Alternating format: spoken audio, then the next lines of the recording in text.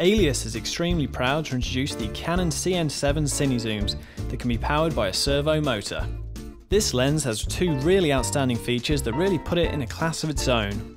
First, the servo power that drives the zoom is, as you might suspect, every bit as quiet yet as controllable as high-end broadcast lens.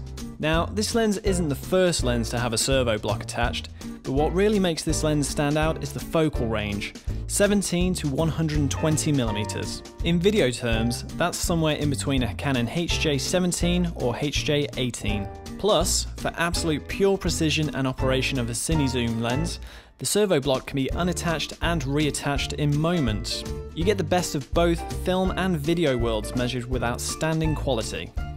Added to this, the lens has an impressive t-stop range, starting at just 2.95 from the widest range at 17mm to 90mm, which coincidentally is exactly the same as its main competitor in the form of the 19-90 Fujinon Cabrio.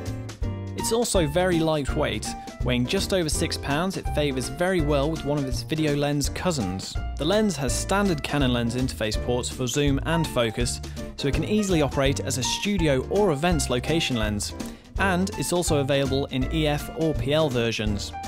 The lens can be readily used for cameras including the Canon C300, Sony f5 or 55, the Arri Alexa or Amira, and more.